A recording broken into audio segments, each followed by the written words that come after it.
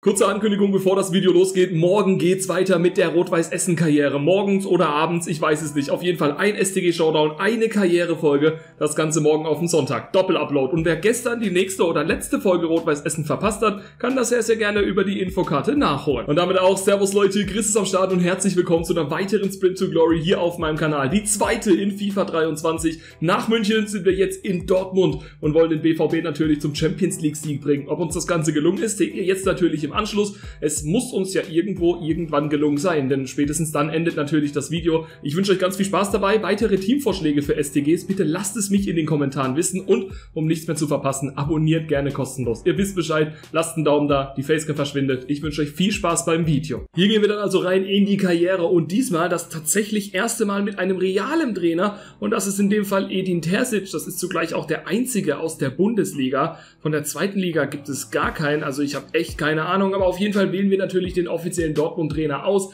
gehen dann auch auf die nächste Stufe und haben dann hier natürlich die Vereinsinfo gegründet 1909. Rechts sehen wir die Vorstandserwartungen, aber wir wollen natürlich rein. Wir gehen mit dieser Mannschaft, mit dem BVB, mit einigen Neuzugängen, gerade auch in Bezug zur Realität. Wir probieren das Ganze gerne mal auf Ultimativ. Nationalmannschaft möchte ich nicht und dann gehen wir auch schon rein. Ich bin extrem gehypt. Die zweite SDG für mich in FIFA 23. Und nach der Trainervorstellung ist tatsächlich jetzt dann auch im Umkehrschluss vor dem Vorbereitungsturnier und dann nehmen wir direkt, ohne dass wir die anderen großartig durchschauen, das mit dem meisten möglichen Preisgeld bis zu 5 Millionen und dann sind wir auch schon angekommen in der Zentrale hier beim BVB mit unter anderem Neuzugang Nico Schlotterbeck. Hier sagt FIFA 59 Millionen. Das ist ein bisschen viel, aber auf jeden Fall will ich diese Mannschaft ändern. Ja, mit meinem absoluten Lieblingsspieler vom FC, Sally Özcan. Er ist leider zum BVB gewechselt, leider natürlich aus Sicht eines FC-Fans. Dann haben wir vorne drin Anthony Modest. Es ist keine schlechte Mannschaft, aber ich glaube trotzdem, dass es Änderungen bedarf, wenn man wirklich ganz, ganz oben mitspielen möchte. Ganz oben in der Bundesliga werden wir zwangsläufig landen, denn wir sind eine der mitbesten Mannschaften natürlich in der Bundesliga, aber gerade auf internationaler Ebene sollte man schon schauen, dass man mit so einer 85 plus reingeht. Ich finde Süle stark, Hummels für das eine Jahr wird sicherlich auch noch tun, Schlotterbeck hat auch ein Top-Potenzial, Kobel ganz genauso. Dann haben wir Jude Bellingham neben der Formationsänderung mit Guerrero auf der 8, der mal wieder ja, per Positioning Change plus 5 nach oben gehen würde. Stand jetzt auch noch Julian Brandt im linken Mittelfeld, Torgan Hazard auf der rechten Seite, Marco Reus als Kapitän. Undenkbar eigentlich, dass der mal draußen ist auf der 10 und vorne Sebastian Aller an der Stelle nochmal gute Besserung natürlich hier und noch hier Daniel Malen. Das ist in Ordnung, aber trotzdem darf ein bisschen was auf dem Transfermarkt passieren und da werde ich mich ransetzen. Zum einen natürlich was Abgänge betrifft, aber auch was Neuzugänge betrifft, denn ich darf gerne ein paar Spieler ausleihen, gerade wie Bino Gittens oder natürlich auch Mukoko, die ein Weltklasse-Potenzial haben und genauso im Gegenzug müssen natürlich Neuzugänge her. Dafür haben wir hoffentlich ein bisschen Geld auf dem Konto. Ich weiß es selber noch nicht zu 100%. Es sind aber knappe 82 Millionen. Und das liest sich doch eigentlich mal ganz gut. Genauso die Wunschliste potenzieller Neuzugänge. Hier Victor Osimhen, dann haben wir Gakpo, Pulisic als mögliche Rückholaktion und Thomas Lemar. Der hat tatsächlich einen auslaufenden Vertrag und ich hätte extrem großes Interesse, gerade weil ich auch glaube, dass er durch einen Positionschange auch nächste Schritte gehen könnte in Sachen Rating. Aber trotzdem natürlich hier für die Zukunft sind die 23-Jährigen jeweils schon dann auch besser. Aber hier könnte man absolute Schnäppchen machen. Ich werde mich auf jeden Fall dran setzen, werde versuchen, so viel wie möglich Neuzugänge zu holen. Gleichzeitig gleichzeitig im Gegenzug natürlich auch einige Spieler zu verkaufen und für euch gibt es jetzt gleich, wie gewohnt, traditionell in einer STG den kompletten Überblick. Wir mussten uns wappnen und auch verbessern für die jetzt anstehende Champions League. In der Gruppenphase treffen wir auf Kopenhagen, auf den FC Sevilla und zu guter Letzt natürlich auf Manchester City, die realitätsgetreue Gruppe. Es ist ein bisschen was passiert.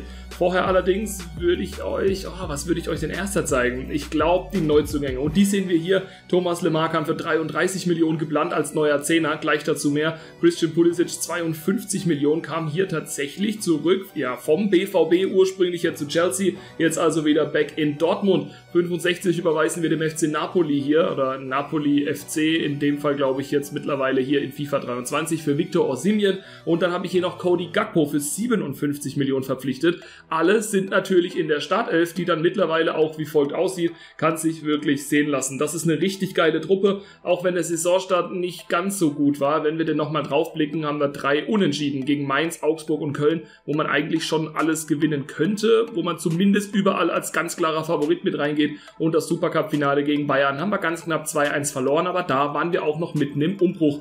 Genau, alle Abgänge will ich euch eigentlich nicht vorenthalten. Genau, da habe ich es jetzt noch nicht gefunden gehabt. Hier haben wir einmal Koulibaly verliehen, dann haben wir Reus hergegeben, Binau Gittens haben wir verliehen, Hassar ist gegangen, Brandt genauso, Rotte haben wir verliehen, Adeyemi genauso, Gürpels auch, Pastak ist verkauft, Schulz auch, Meunier und ich glaube, das war's. Also es war dann eine verhältnismäßig doch sehr große Transferphase, die aber mittlerweile eine deutliche Leistungssteigerung dann wirklich die Auswirkungen aufs Gesamtrating unserer Mannschaft mitgebracht hat. Positioning James, auch von Guerrero und so werden demnächst dann über die Bühne gehen. Ja, und dann bin ich mal sehr gespannt. Dreifachbelastung und ich glaube, mit uns muss man rechnen, aber wir müssen halt die wichtigen Spiele, gerade die, wo wir der Favorit sind, ununterbrochen eigentlich gewinnen. Es wurde deutlich besser. Das zeigt der Monat Dezember jetzt hier auch schon. Wir blicken natürlich mal traditionell, wie es sich für eine SDG gehört, zurück im Kalender. Die ersten Spiele 2-0 gewonnen im Pokal, also in der Champions League meine ich eher gegen Kopenhagen, unentschieden gegen Sevilla. Dann haben wir hier, ja, verloren knapp gegen City, das Rückspiel unentschieden, leider auch nur 0-0 gegen Kopenhagen. Dann gab es aber noch nochmal einen Sieg über den FC Sevilla und das müsste normalerweise jetzt so nach meiner Einschätzung gereicht haben. Wir gucken ganz kurz alle Tabellen durch. In der Bundesliga sind wir nur Fünfter. Ich meine, ja gut, Leverkusen wird schwer, die haben noch kein einziges Spiel verloren, aber die Champions League sollte schon unser Gradmesser sein.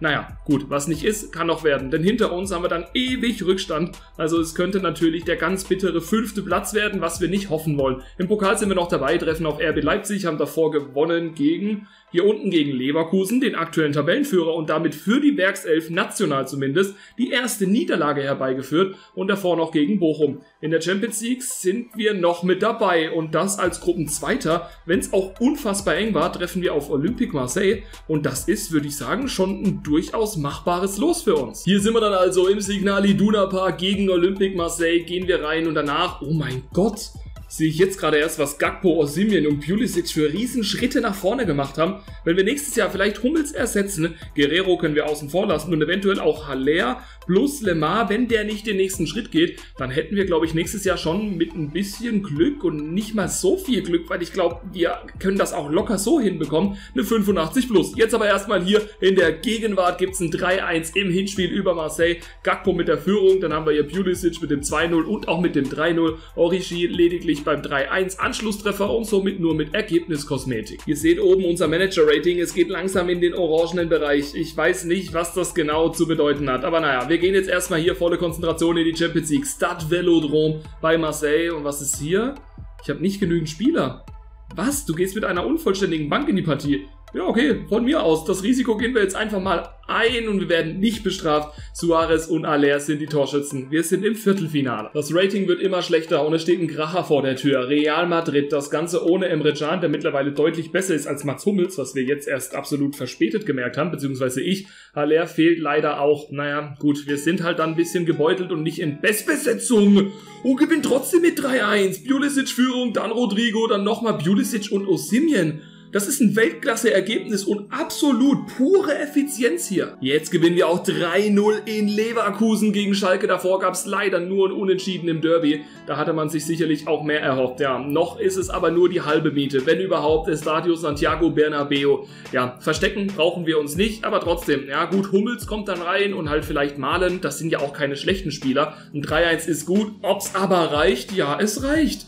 1-0. Cody Gakpo und Guerrero leider verletzungsbedingt dann auch ausgewechselt worden. Och nein, das ist so bitter. Einer unserer wichtigsten Spieler. Und ich sage jetzt mal so, wenn wir jetzt vielleicht Ajax im Halbfinale bekommen, ich meine, dürfen wir die zum einen natürlich auf gar keinen Fall unterschätzen, aber dann ist das Finale schon greifbar mit dem BVB. Das wäre natürlich der absolute Wahnsinn. Aber hier gehen wir auf jeden Fall unabhängig vom Ausgang in der Champions League in ein noch weiteres Jahr. Sechs Monate. Schienbeinbruch Rafael äh, Guerrero. Ja, gut, ähm, aus der Traum wahrscheinlich hier von einer richtig guten Saison. Der fehlt. Mit einer 88 ist das ein brutaler Rückschlag. Es kommt zum direkten deutschen Duell. Das gab es ja schon mal in einem Champions League Finale. Jetzt ist es das Halbfinale. Die Bayern zu Gast, also im Signal Iduna Park. Can ist fit, Haller leider nicht und es gibt ein 2-2. Alles in der zweiten Halbzeit. Pulisic, Müller, Davies, Gakpo. Wir sind noch im Spiel. In der Allianz Arena könnten wir direkt im ersten Anlauf das große Wunder und damit den Einzug ins Champions League Finale feiern. Auswärtssimulation vielleicht ja noch immer overpowered. Ich weiß es nicht. Ja, jetzt in unserem Fall hoffen wir das natürlich. Allianz Arena Bayern gegen Dortmund. Yes! Yes, wir haben es geschafft! 0-0, ja, über 120 Minuten. Schlotterbeck, Bellingham, Adeyemi sehen alle gelb. Vielleicht mussten wir da ein taktisches Foul ziehen. Sonst ausgeglichenes Spiel. Osimien und Farias verschießen und hinten raus Fonzie Davis. Wir bleiben cool vom Elfmeterpunkt und ziehen im allerersten Anlauf direkt Richtung Champions League Finale durch und gucken natürlich jetzt dann auch gleich am Ende der Saison drauf, wer ist zum einen der Gegner hier und wie läuft es im Pokal und in der Liga. Das will ich selber jetzt auch nochmal außen vor lassen, deshalb überspringen wir das Ganze hier und sehen uns im Pokalfinale. Im Champions League Finale wartet dann Liverpool. Jetzt schlagen wir noch Hoffenheim, dann kommt Eisern Union. Das ist hier ein 3 zu 2 Revanche geglückt, weil das Hinspiel haben wir 2 zu 1 verloren. Mussten wir uns also aufgeben oder mussten wir uns als ja, Verlierer in dem Fall dann halt auch zufrieden geben. In der Tabelle gucken wir dementsprechend ganz kurz nochmal auf den Werdegang im Pokal. Wie gesagt, Bochum war klar, genauso auch Leverkusen. Dann haben wir Leipzig geschlagen und Hoffenheim. Und somit kommt es zum Borussen-Duell hier in der Bundesliga auf Platz 3. Also, da war gar nicht so viel weg von einer möglichen Meisterschaft. Wir haben zu oft unentschieden gespielt, aber die Bayern noch öfter. Platz 3 ist in Ordnung, da können wir absolut damit leben. Und in der Champions League wissen wir unseren Werdegang, aber nicht der unseres Gegners. 7-1 gewinnt Liverpool gegen Leverkusen. Das ist wirklich bemerkenswert. Dann 4-3 gegen Paris und hier 6-2 souverän über Ajax. Ja, ich bin gehypt. Ich freue mich riesig drauf. Und jetzt gehen wir aber erstmal in die Schnellsimulation gegen die Borussia aus Mönchengladbach. Das Ganze im Olympiastadion. Chan ist zurück. Haller wird noch fürs Finale auch in der Champions League ausfallen, genauso wie Guerrero. Und hier gibt's unseren ersten Pflichtspieltitel. Getroffen hat Osimien, dann Rese zum 1-1, dann Bellingham, Pulisic und nochmal Osimien. Der Typ ist Wahnsinn. Machtdemonstration also hier im Pokalfinale. Und damit geht der erste Port jetzt hier nach Dortmund. Das ist ganz, ganz wichtig. Die Meisterschaft holen wir uns gerne im zweiten Jahr. Das wird übrigens dann das zweite und zugleich halt eben auch letzte Haller auskuriert. Habt ihr das gerade gesehen? Das zweite und zugleich letzte Jahr wollte ich gerade sagen in dieser STG, denn wenn wir jetzt gewinnen sollten, dann haben wir ja keinen großen Bedarf überhaupt noch in eine weitere Spielzeit zu gehen. Haller wohl doch rechtzeitig fit, oh, ich weiß nicht.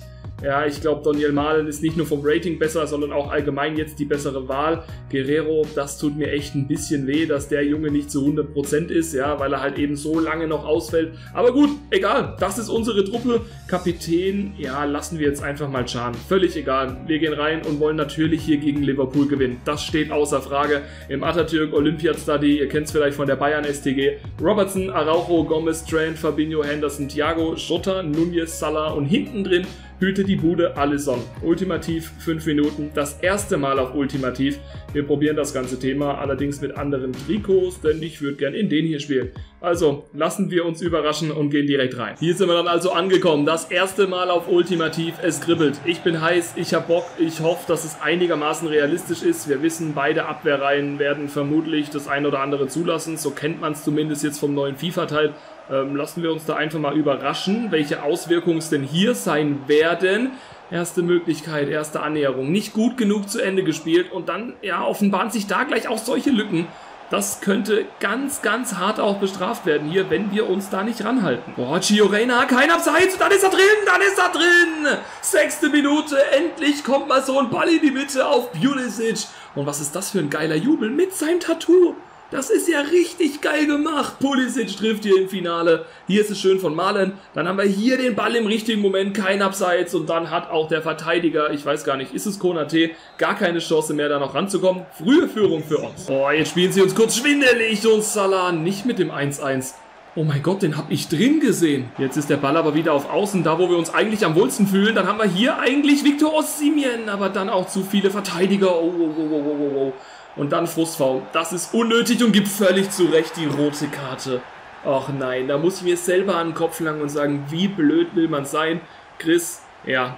Ja, okay, ich wollte noch irgendwie an den Ball. Ich habe den Spieler völlig ausgeblendet. Aber es ist völlig zu Recht auch eine rote Karte. Da kann man auch gar keine andere Argumentation dafür finden. Weder, dass es noch jung in der Partie ist oder sonstige andere Dinge. Nein, es ist nur in die Beine, nur in den Mann und völlig zu Recht eine rote Karte. So blöd kann man gar nicht sein. Cody Gakpo jetzt mal in der eigenen Hälfte und dann hätte man theoretisch die Möglichkeit, auch hier eine kleine Überzahl aufzubauen. Konate verschätzt sich da ein bisschen oder klingelt zum 2-0. 37. Minute, eine Vorentscheidung ist das noch lange nicht. Aber es sieht ganz gut aus. In Sachen Kontern sind wir immer gefährlich, können so kleine Nadelstiche setzen. Was macht denn da Konate? Der greift gar nicht an. Ich habe keine Ahnung, was das sein Plan war. Auf jeden Fall unsere Defensive steht. Can, Schlotterbeck, Süle bisher ganz gut, wenn auch mit dem nötigen Glück, denn oftmals ist es wirklich die letzte Aktion. Wenn die dann nicht erfolgreich wäre, würde es hier äh, mit Sicherheit schon klingeln. Ja, aber hier, ihr seht es immer wieder, wir sind da. Das gefällt mir auch, aber das kann natürlich auch noch ganz schnell kippen. Jetzt haben wir die nächste Konterchance. Liverpool ist komplett von der Rolle und Gakpo macht das 3 zu 0. Das ist ja der absolute Wahnsinn. Liverpool rückt brutal auf. Es ist wirklich extrem. Habe ich selten gesehen sowas und deshalb entstehen diese Lücken hier. Araujo und Konate, die sind völlig von der Rolle. Das ist die nächste Chance. Und dann der Abpraller. 4-0. 4 zu 0. 45 plus 1. Alisson darf einmal auszeichnen. Ja, und dann ist halt Gakpo wieder da. Cody Gakpo. 4-0 zur Pause. Wir spielen wohlbemerkt auf Ultimativ. Ich hoffe, die patchen das demnächst noch, weil es ist extrem einfach, Chancen zu kreieren. Genauso aber auch ähm, Gegentore zu kassieren. Das ist jetzt hier vielleicht eine Ausnahme, aber ich habe auch schon Spiele 8-5 verloren oder so.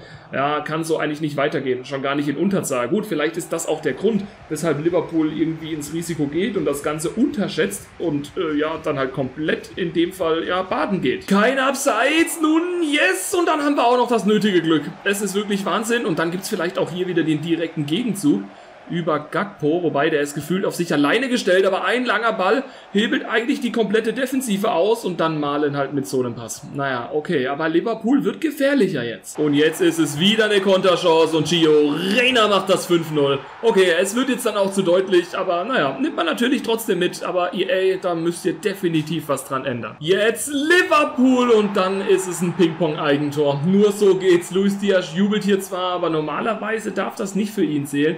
Denn hier schön rausgespielt über Trent, da sind wir ein bisschen zu weit weg und dann ist hier eine Riesenlücke, abgefälscht, abgefälscht, Eigentor. Ja, stellt euch mal vor, es hätte 0-0 gestanden. Ja, Emre Can zählt dann tatsächlich als Eigentor und dann kassiert man so eine Bude. Aber ich will mich nicht beschweren, weil im Endeffekt wissen wir alle, dass es hier ein viel zu hohes Ergebnis ist. Das ist wahrscheinlich abseits. Ja, ich glaube, sah dann deutlicher aus, als es im Endeffekt war. Moderhut jetzt für Lemar. Wir lassen die Zeit runterticken. Dem Henkelpot steht eigentlich kaum noch was im Weg. Die 90. Minute ist jetzt abgelaufen. Die angezeigte Nachspielzeit beträgt drei Minuten und natürlich ist es jetzt offiziell, aber das ist schon länger der Fall. Wer 5-0 in einem Champions League Finale hinten liegt, der hat es dann auch einfach nicht verdient. Ja, aber natürlich ist es irgendwo auch noch wirklich was Patch-würdiges ja, da muss auf jeden Fall was verändert werden, weil so kann es nicht weitergehen. Aber gut, vielleicht auch einfach nur das perfekte Spiel, was halt nicht so häufig vorkommt. Der Schiedsrichter pfeift ab und wir sehen uns ja tatsächlich dann auf der Bühne. Die Übergabe des Henkelpots und danach gehen wir natürlich noch in eine zweite Saison, denn ich will nicht wieder nach einem Jahr die Champions League gewinnen. Emre Can ist der Kapitän, hat den Henkelpot vor sich und ist damit der zweite in unserer FIFA 23 Geschichte, der das Ding jetzt in die Luft tragen darf. Ob wir die im nächsten Jahr gewinnen oder nicht, ist völlig egal. Wir wollen lediglich jetzt mal noch gucken, dass wir einen neuen Innenverteidiger holen. Ja, vielleicht auch einen neuen Zehner und eventuell auch noch einen neuen Stürmer. Das weiß ich aber noch nicht. Wir setzen uns natürlich jetzt dann ran und ihr kriegt gleich wieder direkt im Anschluss die Neuzugänge vorgestellt. Es wird lange nicht so eine lange Saison wie jetzt die erste. Es wird, denke ich, ein verhältnismäßig kurzes Ding, aber trotzdem wollen wir noch rein und dann auch noch das Team mit in die Champions League begleiten. Zwei Spieler sind auf der Wunschliste, diese zwei sollen es dann auch werden. Beide haben den auslaufenden Spielervertrag, sollten daher durchaus finanziell dann auch realisierbar sein. Phil Foden geplant für die 10 als Ersatz für Gio Reyna. Ich meine, wir brauchen nicht unbedingt einen Ersatz. Wir haben auch mit der Mannschaft die Champions League gewonnen, aber ihr wisst sicherlich, was ich meine. Da verbessern wir uns Stand jetzt nochmal um 5 Ratingpunkte. Und auch Hernandez wäre zwei Ratingpunkte besser als Emre Can. Vielleicht kann man da auch was mit einem Tauschstil regeln. Und tatsächlich kommen wir ziemlich schnell auf einen gemeinsamen Nenner. 42 Millionen und Hummels kehrt auch zum zweiten Mal nach München zurück. Und natürlich will ich die Konkurrenz jetzt nicht mit einem Emre Can auch auf einem gewissen Rating halten, weil Hummels hat eine 81 und er wird zwangsläufig nach unten gehen. Und damit ist es dann auch offiziell Lucas Hernandez Wechsel von der Siebener Straße also an den Borsigplatz. Ich glaube, so kann man es ganz gut begründen. Der Neuzugang ist französischer Herkunft, glaube ich zumindest. Ja, ich glaube beide mittlerweile Frankreich, wenn mich nicht alles täuscht. Und da Edin Terzic sagt ganz kurz Hallo, aber hey, ich habe noch ein anderes Meeting. Phil Foden wartet. Und auch für den haben wir noch das nötige Kleingeld übrig. Wir gehen einfach auf Recht mit 80 Millionen. Die wollten 66 und Schlotterbeck im Tausch. Ähm, wie auch immer Pep Guardiola auf die Idee kam. 85 und dann bringt's nichts. Okay, ich hätte jetzt eigentlich mit einer anderen Antwort gerechnet. Im zweiten Anlauf gehen wir mit 90 Millionen rein und der Pep nervt mich immer noch. Ey, der kassiert gleich vom Terzic eine Bombe. Also da werde ich für sorgen. Und Verhandlungsrunde für Verhandlungsrunde wird es natürlich für City immer eine weitere gemütliche Situation. 95 Millionen, ja es geht doch, alle guten Dinge sind drei. Und auch hier wurde der Vertrag ziemlich schnell unterschrieben. Da gibt es noch eine kleine Unterschrift für einen Fan hier auf dem Ball. Phil Foden ist auch in Dortmund und komplettiert ziemlich fix dann auch schon direkt unsere komplette Transferphase. Zumindest im Sommer, wobei auch im Winter nicht viel mehr passieren wird. Bevor es für euch gleich noch den kompletten Überblick aller Abgänge natürlich auch gibt, geht's hier noch in der Red Bull Arena in den DFL Super Cup und wir haben natürlich Phil Foden und Lucas Hernandez direkt in der Startelf und haben eine richtig geile Truppe beisammen. Gegen Leipzig gibt's ein 4 zu 0 völlig souverän und abgeklärt. Malen, Reina, Gakpo, Gakpo. RB hat gar keine Chance. Also auch dieser Pot kommt in den Trophäenschrank. Ein paar Tage später müssen wir leider auf Schlotterbeck und Osimien verzichten. Im Stadion Olympic treffen wir auf meine Roma. Die Trikots hier sehen auch wieder geil aus. Sind natürlich nur die Ersatztrikots, weil wie gesagt, es ist halt nur Roma FC und nicht die AS Roma. Aber es ist der UEFA Supercup und auch der geht an uns. Abraham, die Roma also letztes Jahr die Europa League gewonnen und dann ist es hier Pulisic und Gakpo, die binnen vier Minuten das Spiel mal ganz kurz, ja, ziemlich früh in der zweiten Halbzeit drehen und damit den zweiten Supercup bei uns ins, ins Trophäenräumchen mit reinbringen, wenn man so sagen will. Hier sind alle Abgänge. Ansgar Knauf 23,7 Millionen zu Leicester City, Collins, Mukoko auch Abgänge, genauso Kamara, Dahut und auch Gürpitz, wieder mal Binau Gittens ist dann auch verkauft und Hernandez und Phil Foden, wie gesagt, unsere Neuzugänge. Also, es ist wirklich absolut souverän. Wir haben eine richtig geile Mannschaft, konnten uns nochmal verbessern und bis auf Osimhen ist wirklich Ah nee, wobei Kobel auch noch nicht, aber sonst jeder mit der Nationalmannschaft unterwegs. Und von daher lassen wir uns einfach mal überraschen. Gucken ganz kurz drauf, wer in der Champions League auf uns wartet. Das ist Inter Mailand. Dann haben wir Schachtja Donetsk und zu guter Letzt Lyon. Es wird nicht leicht, ja, aber das hat keiner gesagt. Und von daher werden wir uns der Herausforderung definitiv stellen. Und auch hier heißt es natürlich mal wieder schauen, wie denn die Champions League Gruppenphase gelaufen ist. Ein Unentschieden zum Auftakt gegen Inter haben wir dann gewonnen gegen Schachtja und auch gegen Lyon. Beide Spiele, Hin- und Rückspiel. Dann auch Inter geschlagen und dann auch nochmal Schachtja. Also das ist nahezu die perfekte Punktausbeute. Absolut perfekt. Die Jungs hier nehmen auch Weiterentwicklung an. Foden hat eine 90 und ist damit der einzige Alleinstellungsmerkmal, wo eine 9 vorm Gesamtrating steht. Und jetzt gucken wir noch ganz kurz auf die Tabelle in der Bundesliga auf Platz 1. Im DFB-Pokal sind wir leider raus. Das sind wir, glaube ich, ausgeschieden in Runde 2 direkt. Das Ganze beim VfB Stuttgart ist aber halb so wild, denn im Pokal haben wir letztes Jahr gewonnen. Nur die Meisterschaft fehlt noch und die wollen wir natürlich jetzt holen. Im Achtelfinale treffen wir auf Ajax und dann würde ich sagen, gehen wir direkt wieder in die Live-Simulation. Das Team aus Amsterdam ist dann Gruppenzweiter geworden hinter Real, ja, und das mit elf Punkten vor den Spurs. Das ist bemerkenswert. Johann Cruyff Arena, wir müssen nach Amsterdam. Hernandez fehlt rot gesperrt. Irgendeiner ist irgendwie immer verhindert. Wir gewinnen trotzdem 2-1. Pulisic, Broadway, Doniel, Malen und damit ist es ein gutes Hinspielergebnis. Zu Hause wollen wir es natürlich wieder mal Richtung Viertelfinale schaffen, aber das sollte auch drin sein. Genauso ist es dann auch Malen mit einem Doppelback. Dann doch auch wieder mal ziemlich souverän. Mit Manchester City wartet jetzt ein richtiger Brocken, ja. Foden trifft auf seinen ehemaligen Club, genauso wie Haaland auf der anderen Seite im City of Manchester Stadium im Etihad gibt es ein 1-1. Malen Asensio. Also ihr seht mittlerweile auch gerade anhand der Ergebnisse, wir können wirklich mit der absoluten Elite komplett mithalten. Zu Hause also müsste man aber schon ein Tor Minimum mehr schießen als die Citizens. Die sind zu Gast im Signal Iduna Park und da verlieren wir leider. Es ist Joao Cancelo mit der Führung, dann Foden mit dem 1-1, Schlotterbeck verletzt sich, dann kommt Chan, dann trifft Haaland und Foden auch noch mit Gelbrot. Sollte dann einfach nicht sein. Aber trotzdem ist es halb so wild, denn der volle Fokus soll jetzt auf die Liga sein, denn da wollen wir unbedingt den noch einzig übrigen und offenen Titel, den wir bisher noch nicht gewonnen haben, wollen wir da jetzt holen. Schlotterbeck fehlt, aber gut, wir haben Emre Can und wir haben nur zwei Punkte Vorsprung auf die Bayern. Wir nehmen das Ganze jetzt im Kalender einfach mal live hier mit. Wir haben noch fünf Spiele, ja, daheim Union, da haben wir die letzten Jahre nie wirklich gut ausgesehen. Komm schon, ja, es ist ein Sieg und dann die Entlassung. Ja moin, was soll das denn? Wir sind entlassen und können nichts mehr machen. So endet jetzt diese Sprint to Glory. Mit einer Entlassung, nachdem wir Erster waren in der Liga, im Viertelfinale in der Champions League, beide Supercups gewonnen, letztes Jahr Champions League und auch den DFB-Pokal. Und dann äh, wird man so rausgeworfen. Also das ist jetzt dann schon auch mal wieder ein Zeichen für die restlichen STGs, dass es, glaube ich, eine ganz, ganz schwierige Angelegenheit wird, wirklich richtig große Sprint to Glories aufzuziehen, weil ähm, das Ganze einfach viel zu anspruchsvoll ist mit diesen Vorstandserwartungen und halt dann auch den schnellen Rauswürfen. Das ist leider ganz, ganz bitter. Aber gut, dann geht's halt so zu Ende. Halb so wild. Ich denke, die Bundesliga hätten wir theoretisch gewinnen können, gehe ich jetzt zumindest mal von aus.